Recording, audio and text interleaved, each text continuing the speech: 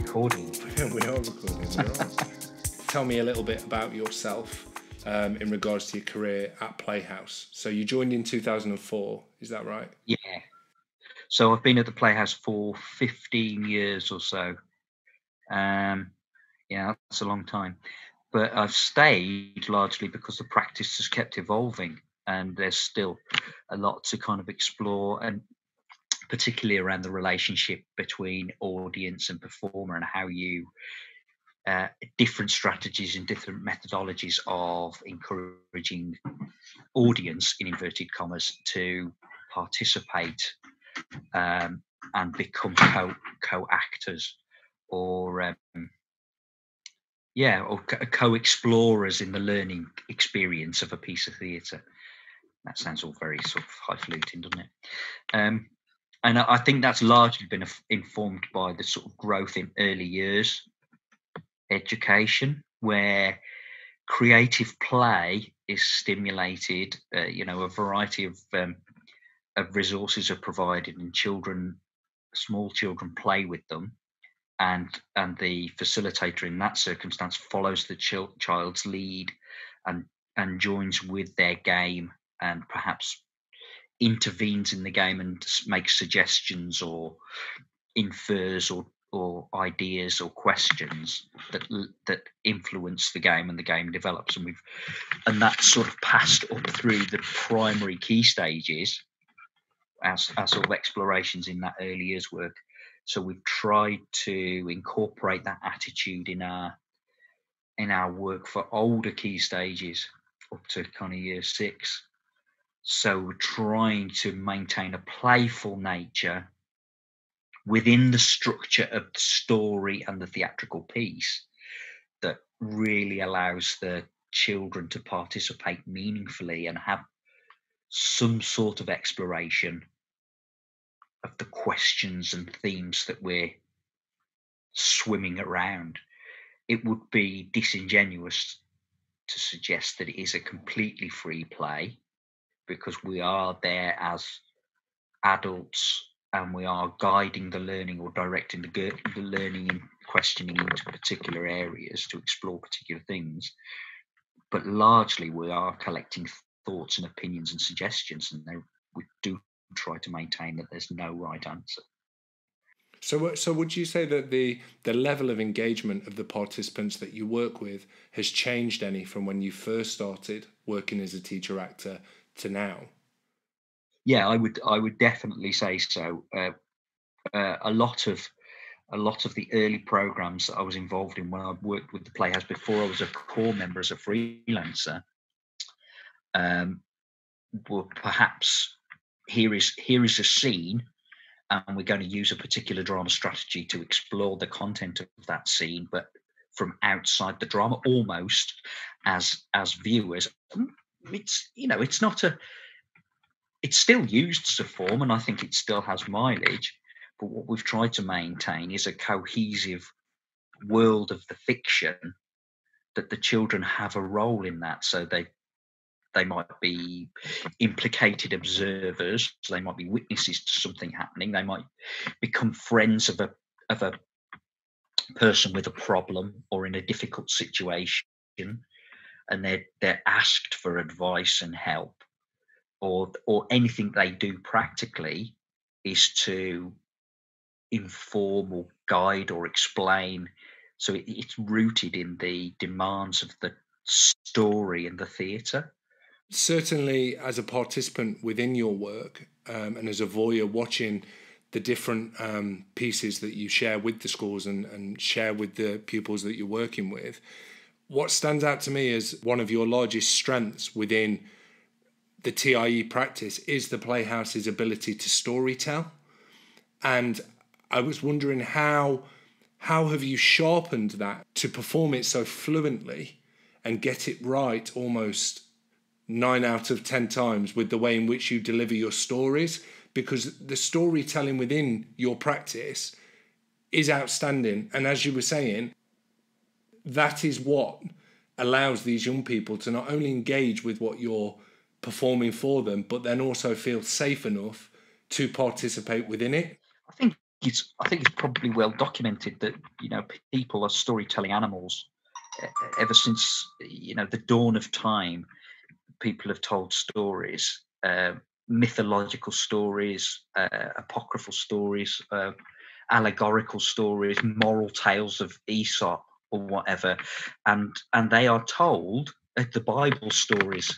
Uh, I don't know a lot about Islam, but I will say there are similar stories in the Quran about uh, models of behavior and thoughts and ideas and problems which are explored through story, which gives you an analytical, objective distance, but also you can be emotionally engaged in the dilemma of that particular person's problem or difficulty or that group of characters and we build that emotional ga- engagement in the in the story and that allows people to forget any sort of inhibitions i would say or, or limit their inhibitions. And they're they're not talking about themselves they're talking about somebody on the stage who is a you know a part filled vessel if i can inappropriately borrow that dorothy paradigm um, and and they fill that person with their own life experience their own thoughts their ideas the rhetoric that they've heard, heard around their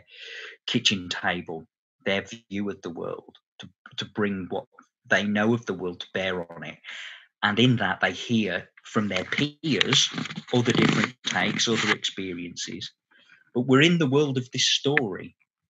So at the end I never finish with a happily live happily ever after, but there's always a, there's always a yes, but at the end of it, and a rhetorical question to carry on thinking about.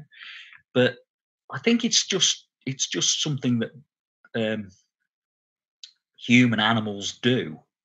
They communicate through story and metaphor, and I think so. We we sort of developed over time a number of strategies. So this a program that we do is based on Little Red Riding Hood, made with Jonathan Neelands originally a very long time ago, and essentially it's it's a dramatic deconstruction of the story of Little Red Riding Hood, where children take on the role collectively of Little Red at one point. They go on a journey through the woods. They meet the wolf. Uh, they have conversations with her mother. They meet the countess, who's heard of this close encounter in the woods, and they make a choice. They make a choice about whether they're going to live with the countess and have a nice china doll, or stay in the cottage in the woods with a raggy old saggy, soggy rabbit that her dad made, uh, who's no longer on the scene. But um, so that's that's a sort of episodic, which, which very clear structures. The Hansel and Gretel, which was made a few years after that I've just been touring, it, the children arrive to hear a story from the great Tattershall and begins the story and involves them in asks them for help to picture the inside of the cottage that Hansel and Gretel live in, to do the sound effects of the of the journey through the woods. Imagine and build and construct the gingerbread house. What sweets is it actually made of?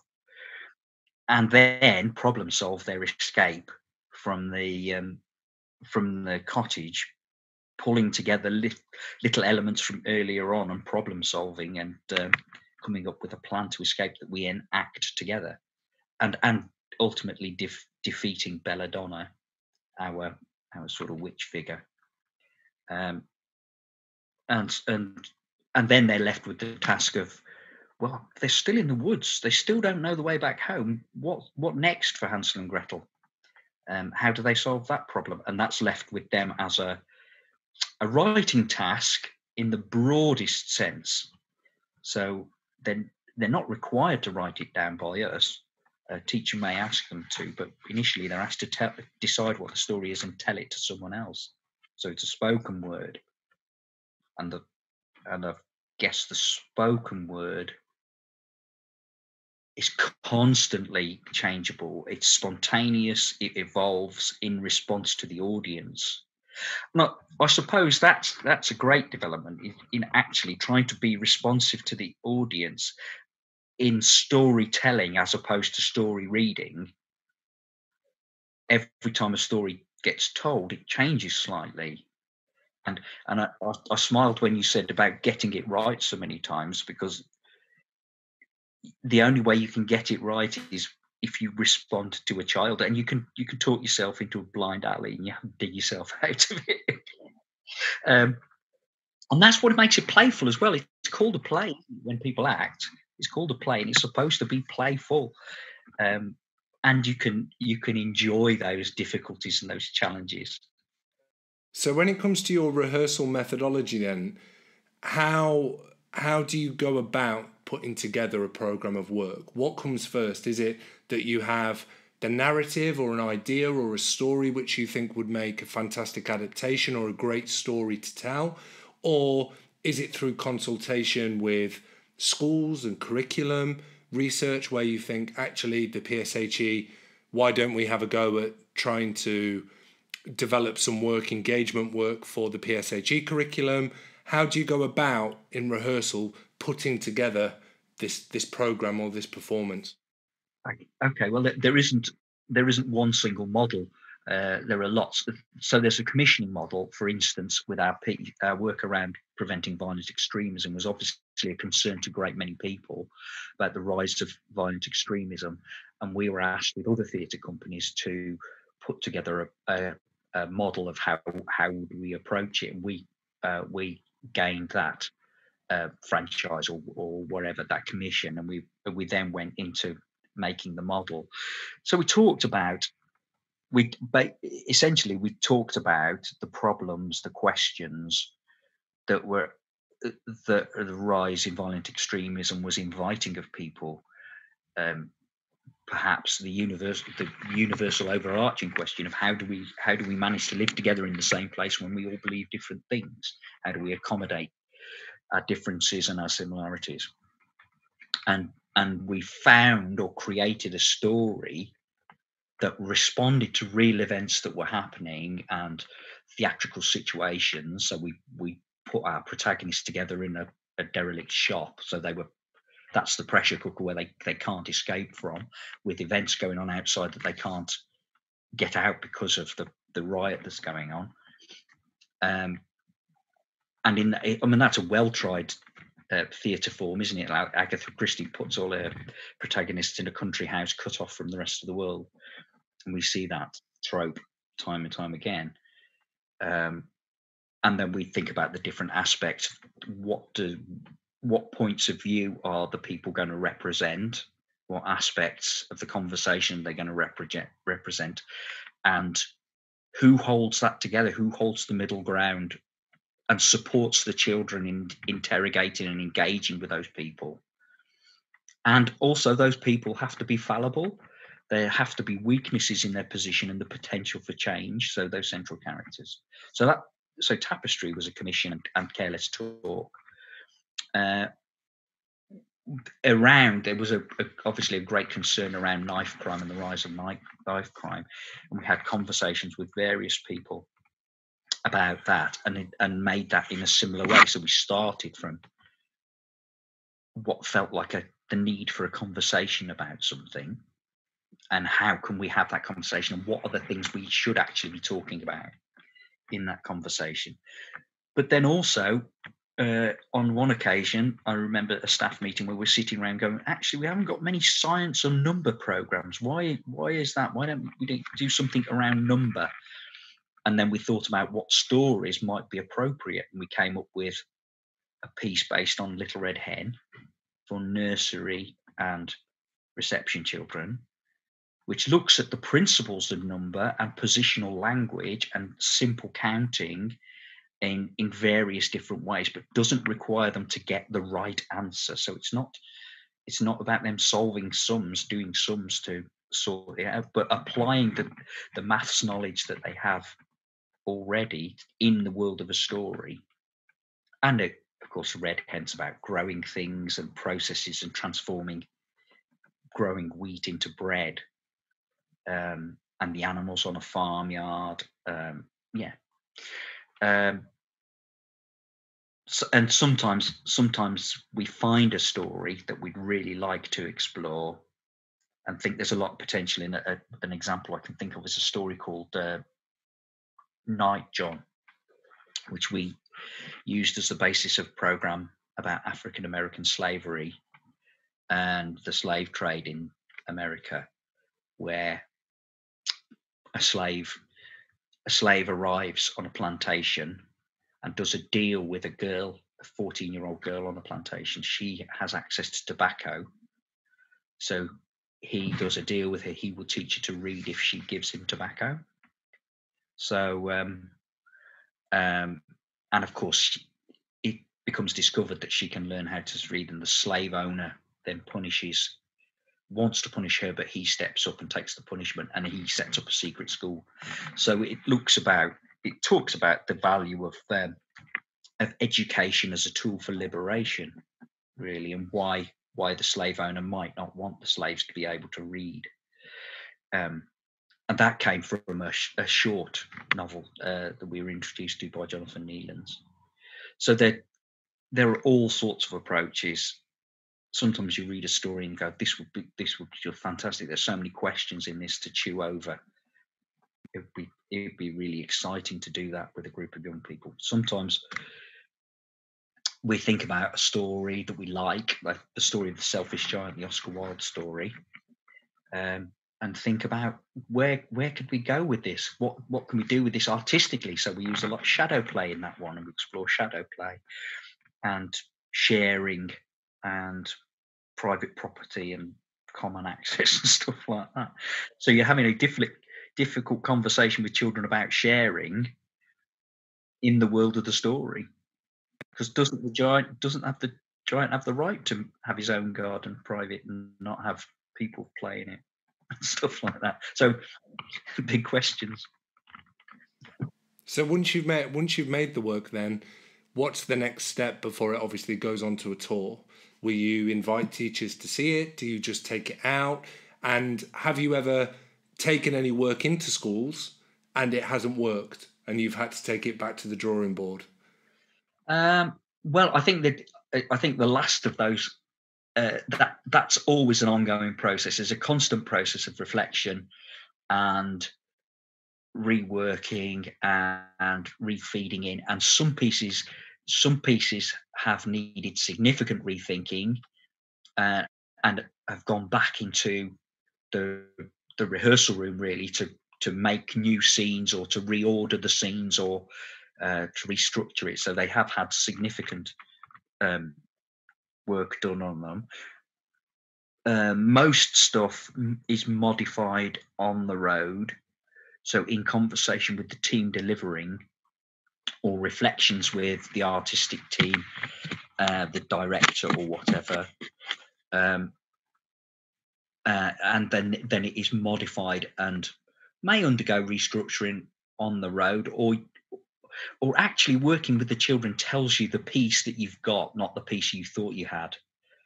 So you, so by responding to what children are saying and saying interesting things, you can actually there's a lot of mileage in this, and I'm going to go down that road, and perhaps the the road that we thought was the main thread through is is not what is engaging for children. So we're we're going to sideline that and shift the focus onto this particular strand or theme. I suppose you're incredibly fortunate there, Malcolm. I suppose that you're incredibly fortunate there as an actor and as a facilitator to work within an area of theatre where you're constantly being afforded the opportunity to modify something or recreate something and reinvent a piece of work. And and I think that that, that must be really exciting, right?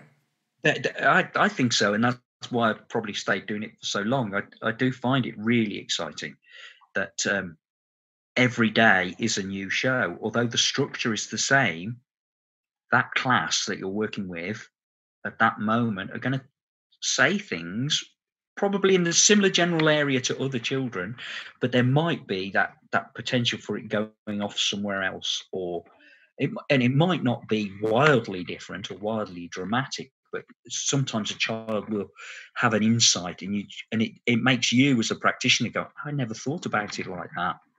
And I, and i need to hold that in it in the performance so that that potential for it being said again or realized again or or other people make those connections uh, yeah, and uh, and have the space and the freedom to have their own take on it, not what I think, not what I think it is. I think that's one of the strengths of doing the same piece repeatedly for a block of time. You really get to know the material and the structure of it, so you can really concentrate on the needs of the group that you're with. And the way I describe that to teachers is it's like teaching the same lesson again and again, morning and afternoon for several weeks at a time. Whereas they might teach a lesson, have a reflection on it, and not come back to that lesson again for another academic year. So you can really build, really build the the the learning, the experience through the duration of its tour. Document that either through video or updating the script at the end of the tour so it picks up from a similar place it doesn't slip back too far before it goes out again and every group of people that comes to a piece when they pick up a script or the or see the video they go oh i wouldn't have done it like that. I'd have done it like this. And they so they have their space to bring on it and make it a new thing and a live again in a different kind of way. Yeah it's a really a really unique creative luxury. And I don't, off the top of my head, I don't know if I can think of another artistic medium other than potentially maybe painting, where an artist may work on a piece over a sustained amount of time and go back and retouch it and, and keep creating. Any other artistic medium, really, and especially in theatre, where an actor may have the opportunity to keep going back to something and reinventing it, and and that reinventing it within a dialogue of participants constantly. Your audience are constantly shaping as you've described. And if they're not, and if they're not, they're not, they're not truly participating. It, and I guess that's what we mean by meaningful participation. That that actually what they say contributes in some way to that specific event at that specific moment at that specific time and place in a way that uh, in a way that I know, you know, pantomime is participatory, and I don't want to deride pantomime. I think this, I think it's great, and I think there's a place for it. But the responses are predictable and are enjoyable, but often, um, often the the response from the stage when it is spontaneous is much more enjoyable than uh, the rehearsed, and that and that that is really exciting. We, we've sort of begun to think about digitizing things and how how we might digitize. And I guess the greatest challenge of that is how do we get that feedback from the audience and be responsive to it? Because if we pre-record, it's fixed. We can we can offer open questions, but we can't get the responses back. There's even even through something like Zoom has its has its kind of limitations, and you're in the hands of a facilitator on the ground. But you know, we're, that's that's a continuing exploration about how we can how we can make that work and how we can um, keep keep doing, but keep the the energy and the spontaneity of the live event that is immediately responsive.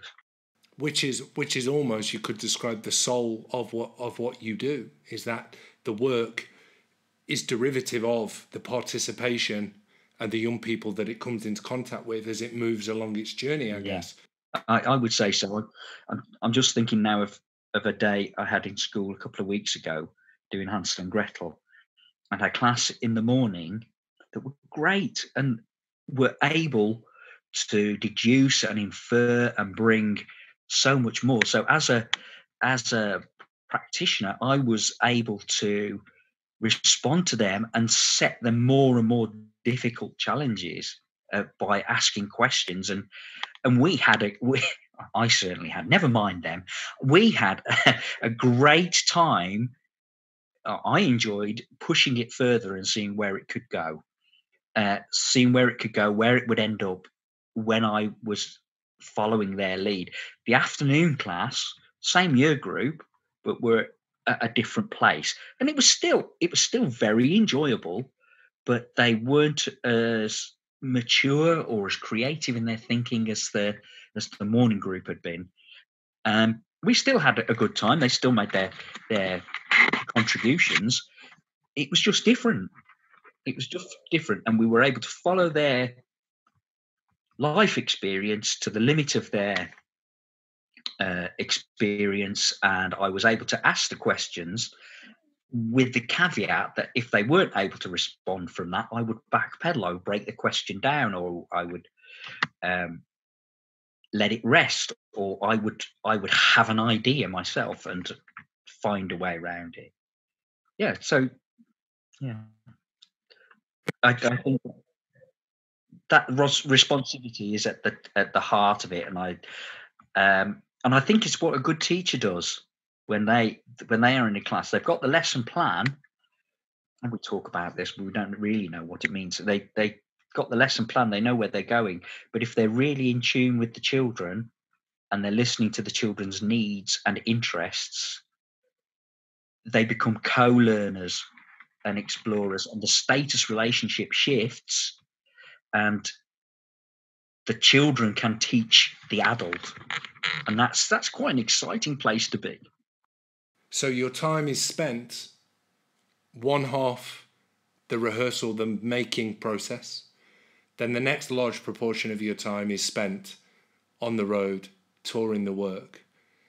On the website, it says that you um, you work with fifteen thousand pupils or students annually, which is a large, large number of young people to come into contact with. How, of course, of course, how do you I mean, there's there's a lot of questions to ask.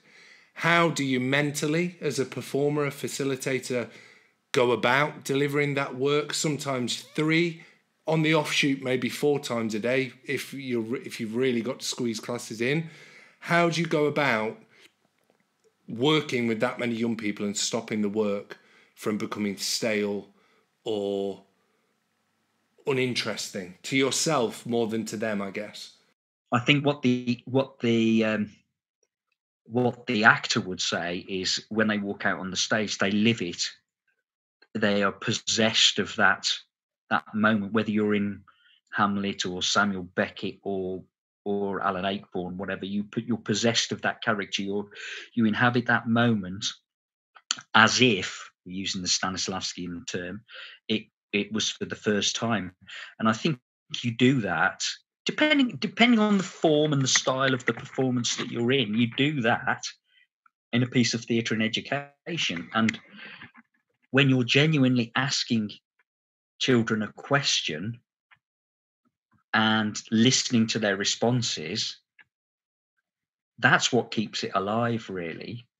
You can you can ask the same starter question, but they can their response can bring you several different ways into the conversation and it's part of your brain has got like a spider diagram in there connecting up all the possibilities and so when a child says one particular thing that that sort of bit illuminates that spider diagram um, and you can see where you can lead off by different questions and how it can lead you into another area of exploration perhaps something the children hadn't thought of and you construct fresh and new those pathways round that spider diagram fresh every day in response to those in response to those children i guess.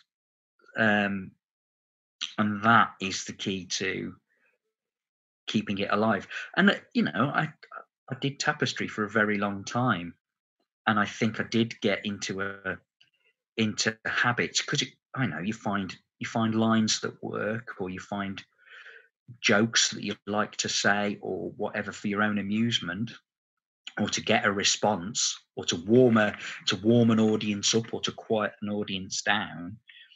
And sometimes you just have to let those go because the needs of the group aren't aren't ready for that yet or they they're not giving you what you need to get there. You go I, I, I can't get my favorite lining because they haven't given me the lead into it. And you just go, well, it's not going to happen today, and you you you enjoy it when it does. Or and I, yeah, and I suppose in those moments you remember that every performance is a new performance.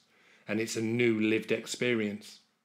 Yeah, and you do need to you do need to remember that sometimes, particularly particularly if you've been doing one uh, program for a long time. And and if you come back to it a couple of years later, it's still new. The the circumstances have changed. The world outside has changed. So it's fair. So it's fair to say that a, a teacher actor. Would you still would you still refer to yourself as a teacher actor? Is that still um, an accurate job description of the work that you do? I I think so because there are there are skills of the teacher and the actor fused, and it's it's on some sort of seesaw. So if you sort of imagine a seesaw, and you're running up and down that seesaw, sometimes you're more at the teacher end of the seesaw, and sometimes you're more at the actor end of the seesaw. Um, uh, but you're constantly moving up and down, and on some days at the same point in the program that you did the day before you might not be at the same point on the seesaw because the group is different so your half your brain is going what's the next line where do, where did i put that prop it's here somewhere oh it's broken uh, it's doing that actory thing uh, about being in the story and the technical requirements of that but also your brain is going okay, they've said this. I want them to think about that. How can I get them from there to here? What's the chain of questions, or what's what's the next question that might point them to this area that we want to talk about, so that they think they've come up on, their own. It's it's just the breadth of your skill base is incredibly vast, and you're constantly switching hats all of the time.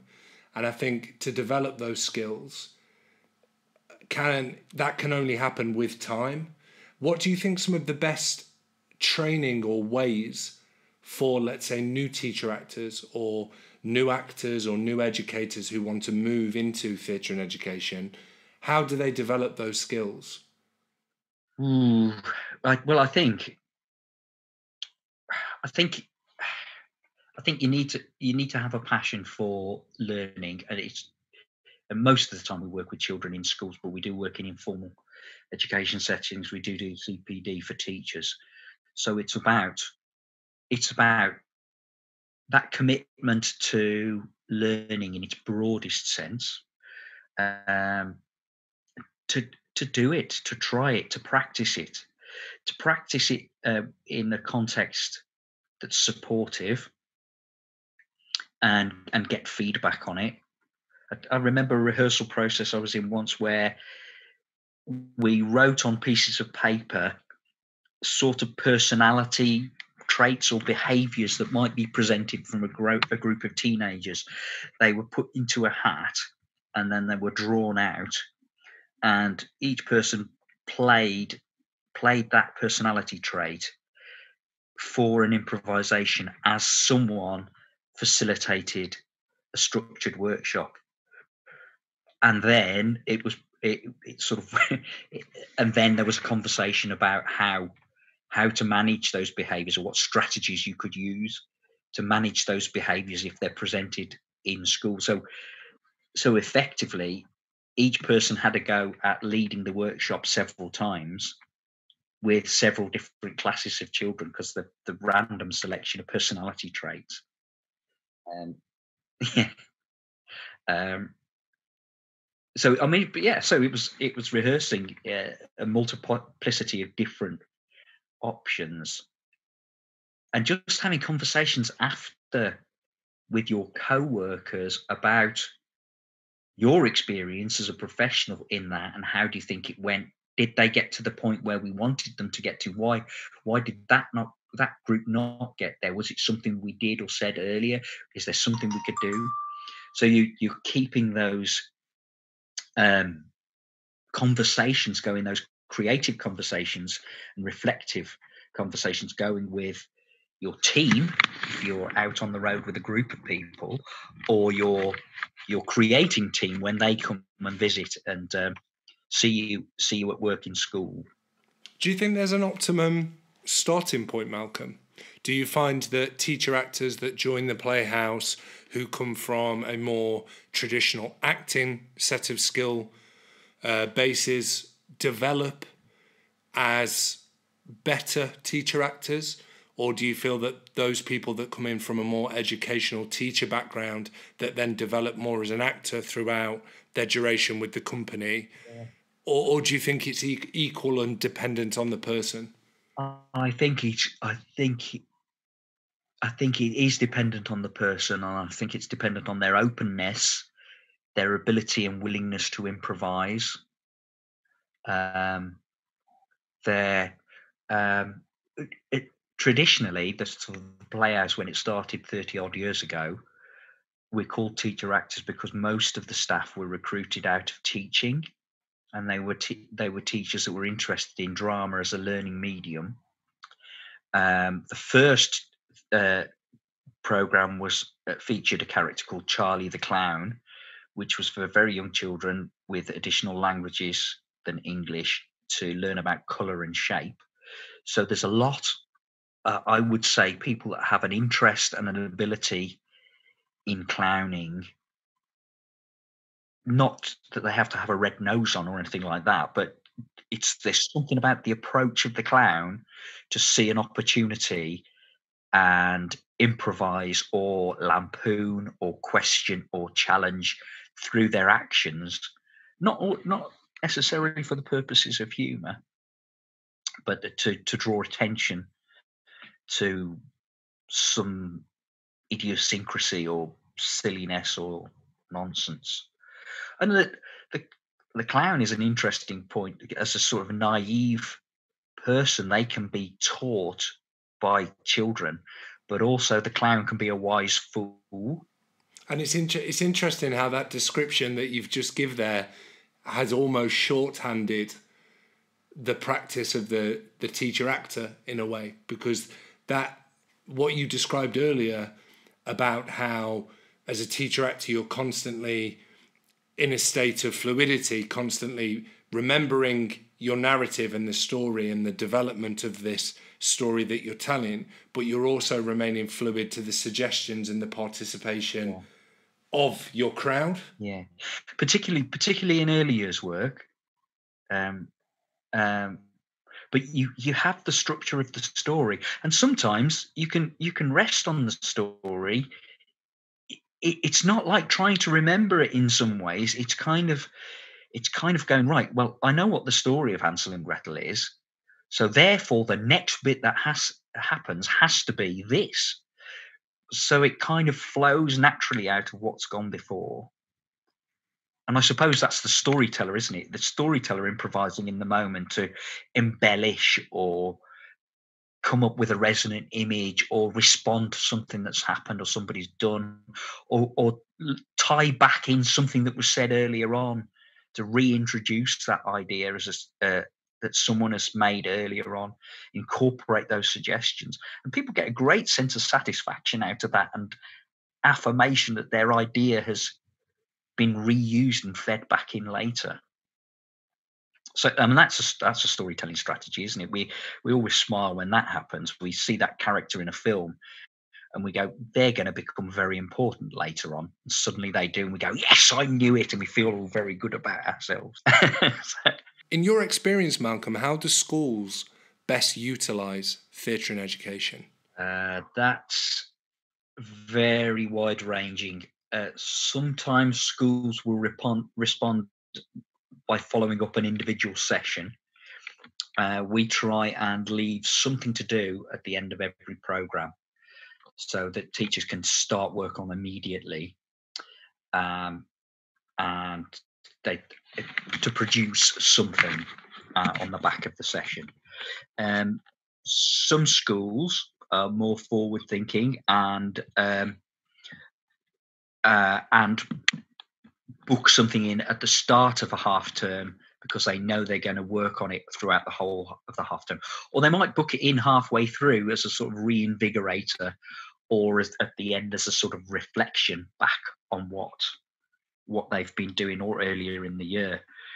So some schools dig deep and connect to the story and work on the story and the, the content in a great deal of detail.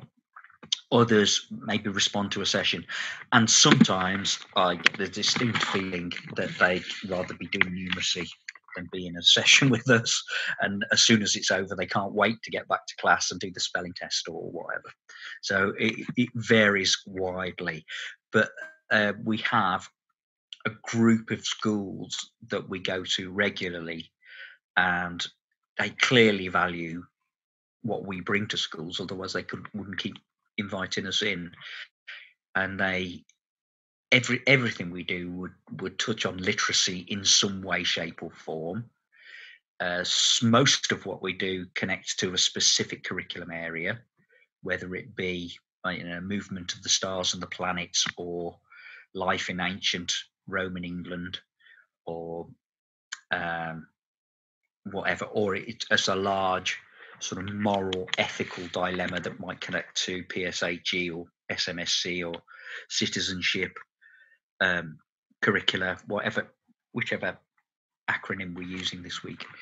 Um, yeah, so but everything, every we, I guess that's why we try and explore big questions rather than deliver messages, and that's that becomes interesting sometimes um, because we're commissioned by there's a, a, a misconception I think between uh, schools and commissioners and us about what we do and what we can do, and people think we are about delivering a message when actually we're trying to ask questions around something. So the message if there is one in inverted commas comes um, becomes apparent. Uh, i suppose that's clearer in things like you know if we're if we're asked to do a, uh, some work around healthy lifestyles there is a baseline of received wisdom that that people want to communicate. Um, and that, that becomes a little more challenging in some ways. And the playhouse also offers cpd for schools and teachers as well is that correct? Yeah so um, uh, uh, yeah, so um, we can do uh, CPD sessions for teachers that might be day long, twilight, you know, short short sessions, or um, we've done more sustained projects in conjunction with universities where they, supported by the Playhouse and university staff, teachers undertake a, a unit or part of an MA. Um, and so and those projects have run typically over a year or so with sort of sporadic intervention where a, perhaps typically in in the autumn term uh, a teacher will come on a training day paired with a teacher actor from playhouse who goes into school and works with them and delivers a session in their class.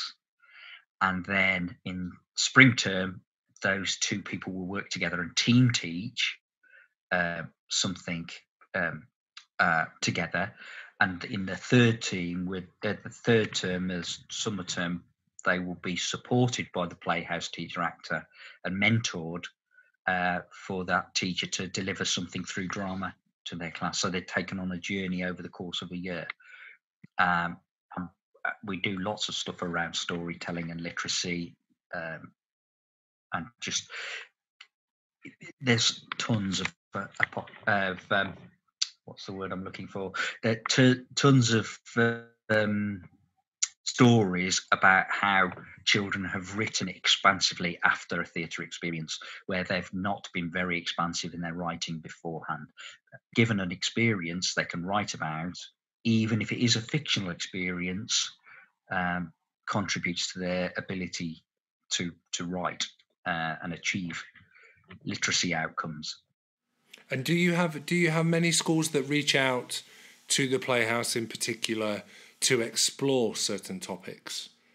Is that is that something that ever takes place, or is it always that they may get in contact and ask for something that explores a particular part of the curriculum or a certain story or text that they might be working on at the moment, and then you will respond with, "Well, actually, we're running this program at the moment." Um, very occasionally, someone rings up and says, "Have you got anything on?" Blah blah blah. um, and sometimes we do, and sometimes we don't. Sometimes we work with that teacher to perhaps come up with a bespoke session if if it's appropriate if they want particular input around a, bu- a, a book or something like that we did some uh, some sessions where children were thinking about pirates in a school and we went in and we did uh, we went on a journey as pirates sailing a ship an imaginary journey to an island. We explored the island until we found the treasure.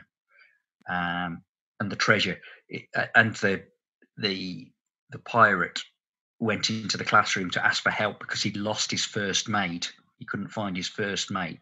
So they went on this journey with a crew of children they learnt about boats and sailing and ships in a very general sense.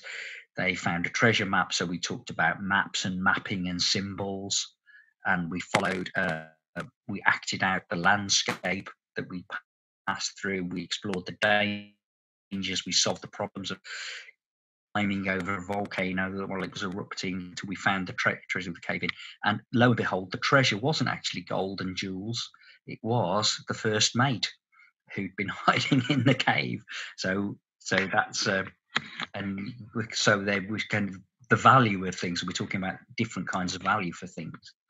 Um, yeah, and that was a that was a, a, a sort of negotiated session because the, uh, that school wanted something specific for that particular event.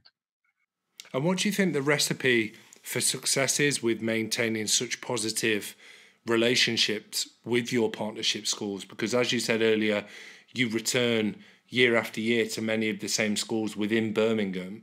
Surely you are doing something incredibly well to continuously be invited back to these schools year after year? Is it just the strength of the work, or? I think that I think that has to be that has to be a significant factor. There's much talk about quality and what makes what makes quality, and I suppose although although we enjoy our work out, we take our work seriously. Uh, it's educational purposes and it's its uh, visual aesthetic and its um, you know theatrical standards. We we take it seriously, uh, and we strive to do the best that we can. Uh, we work with teachers. We build up relationships over a long period of time with teachers, and hope that they understand us and they understand how they can get material out of us to what support we are for their learning in the classroom. Um, I think we are fairly unobtrusive. A, a teacher of uh, who's supported for many many years uh, basically says they come up, they they do it, they get on with it, they do a good job, and then they leave again. So we we make demands on schools on space and time and things like that but we understand the school environment and we're fairly pragmatic about what we can expect in terms of quiet and interruptions you know it's it's not always good to have a constant stream of people walking through the hall but in some schools it's inevitable and all you can do is act better to make sure that what you're doing is much more interesting than the people walking through the hall. Yeah. I guess. And where do where do you at the Playhouse see the future of theatre and education within five to ten years? Do you think that the model will ultimately have to change due to young people's interactions with technology? Or do you see that the the the way in which you present the work now has already stood the test of time long enough for it to continue in its current format? Well, I think it. I think it, it can't it can't stay in its current format, and it and since its inception in the early '60s or in the 1960s, it has continued to evolve, and new thoughts and new thinking, and there and there are new trends and Reggio Emilia comes to the fore and people understand there's a different kind of thinking around a pedagogy that has to be sort of engaged with otherwise it becomes a it becomes a museum piece so it, it will continue to evolve uh, it will look at different ways of incorporating technology. We will keep, and, and someone like C&T, for instance, that they've basically moved from what you would call a traditional theatre and education company when I first knew them to being a sort of uh, looking at drama and digital media and looking at how those things can communicate across the globe. And they're looking at how how drama fits with digital media and and the other way around. Digital media can enhance enhance drama so that it will it will continue to evolve. Obviously the the, sort of pandemic has put extra pressures on everybody in education and in theatre. So there's a new set of challenges to try and meet.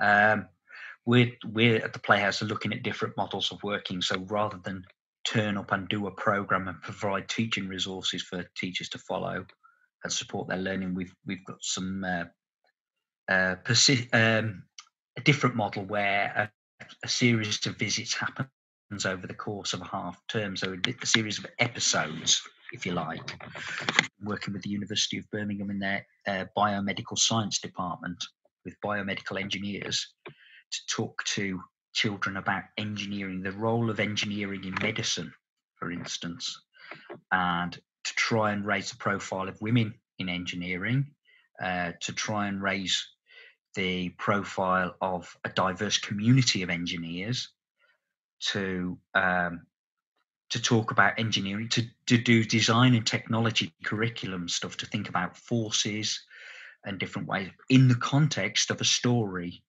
uh, the role of women and the history of engineering. But the children have engineering challenges to overcome and make presentations that then get challenged by a visiting fictional character says, Well, this is all well and good, but we can't afford to do that.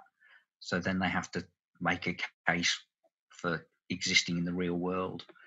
The, the narrative is around a, a female footballer who's broken a leg and needs to recover in time for a big tournament. So they're thinking how to fix this woman's bones. And then, if, then of course, there's a conversation about is it even worth it for one sports person to spend all this time and effort on one sports person? And it's a woman playing football. What are they thinking of? So there's all sorts of conversations that spiral out of that. Um, that the teachers can contribute to, uh, and we're and we're developing several models. We've uh, we've resurrected, if that's not an unfortunate term, uh, a production about the plague village of Eyam in Derbyshire, which you may or may not know about, uh, where the, basically the village self isolated, to borrow the modern parlance, to protect the spread of the plague. We've, we've reworked that. That was a program that went into schools. We've revisited that story, and the children hear and see diary extracts that have been recorded digitally, so on video, uh, with a performer who's on video. Uh, there's that's pre-recorded, so they experience that, but then they get to process that live in the classroom um, with a, a teacher actor to try and talk about the situation and it gives them an opportunity to talk about their experiences and attitudes and opinions about um, about isolation and the summer that's just passed and I guess prepare them for the winter that we're just about to enter. and so it's constantly constantly changing. And if it if it ceases to change, then it will it will um, no longer be of pertinence and will stop of its own accord. We'll all have to retrain retrain Rishi as a Chancellor of the Exchequer. I fancy. Because as as you mentioned earlier, you know the the biggest hurdle is integrating with technology so that the part so that the participation doesn't suffer in any way. Yeah. And I think that there's this immediate rush for arts to conform with the integration of technology. And I think that in the case that it makes the work more accessible for as many people as possible, that it is definitely a positive thing that art does move towards integration. However, unfortunately, not for it to lose something within its integration. Well, I, I think you have to see them as different things. So we've recorded a version of Hansel and Gretel for distribution for if people want to see that of me doing the version of the story, but it's significantly different to how it is in school. Um, although the storytelling is the same, the words I say are the same, but film is a different form to theatre. So you just have to acknowledge that and acknowledge the limitations of both, and they both both have limitations. So the accessibility of getting something out on film, particularly when people aren't supposed to be meeting or whatever, that's obviously a great advantage. You can do that, but the downside of that is the spontaneity, the the creative moment, or the that uniqueness of that particular moment with that particular group of people, and that's that's what goes. But then you, it's a risk benefit thing or, or loss benefit thing. You kind of go, well, is it better that they're seeing something or nothing? so yeah. yeah. So, what does the more immediate future for the Playhouse hold at the moment? What are you currently working on? And once hopefully social distancing um, and restrictions are eased, what direction does the Playhouse move into in 2021? Okay, so the Hope program is available to book, and that's that's going on. That's the piece I was talking about about um, about the plague village of Eyam and the response to the pandemic. We're revisiting our split second program about knife crime, um, and um, no kidding is a piece that's about bullying and friendship. That's planned for going out after half term, um, which is anti-bullying week. Um, under the under the restrictions that we're on at the moment, we're looking at getting pieces of work out to people that we can staff with a single person um, to minimise contact, um, but still provide a level of service. Um, that's that's our, our sort of short term thing.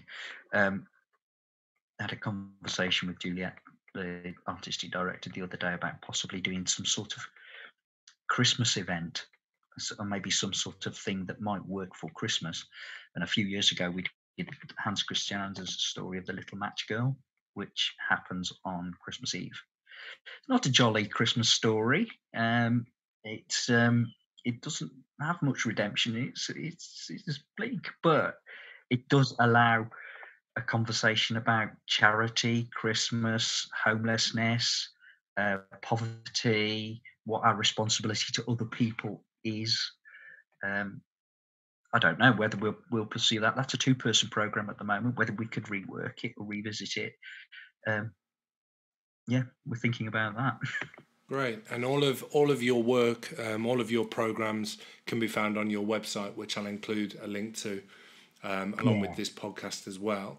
Do you have um, any contact details in case people might want to get in contact with yourself? Uh, probably the easiest way to get in touch with me is through the website and the contacts um, email there. If you substitute info at for malcolm.jennings at at theplayhouse.org.uk should find its way to me. And I, I'm really happy to engage in conversation with people about about their work and the work they're doing. Uh, I'm not going to write anyone's dissertation for you. I always say that.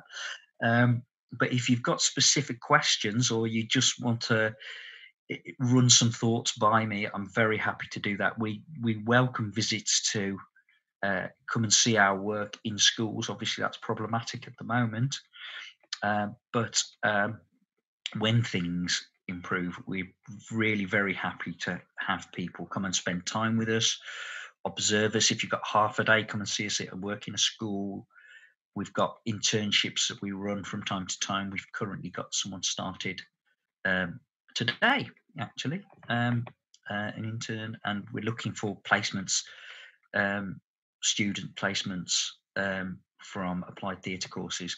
And it's it's great to actually see that there are applied theatre courses out there. That seems a big positive development that it's it's sort of a, legitimacy to this this form of community theatre in in many different ways about involving people to make art.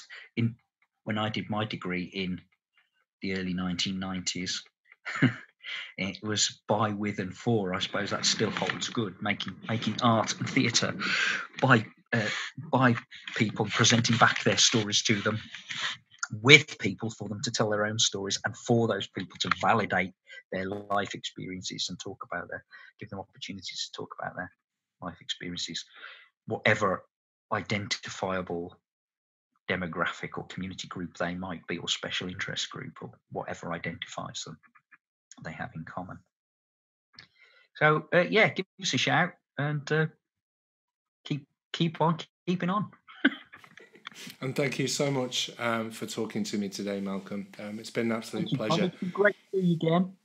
Yeah, and it's been an absolute pleasure to just sit and take in all of the knowledge that you have and possess. And um, yeah, just thank you very much. Yeah, and all the best to you, Tom. You're, you're doing a good thing. Turn.